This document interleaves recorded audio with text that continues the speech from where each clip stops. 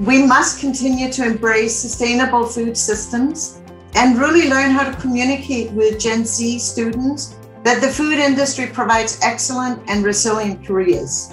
This must include letting them know that food scientists care about sustainable and resilient ag and food systems.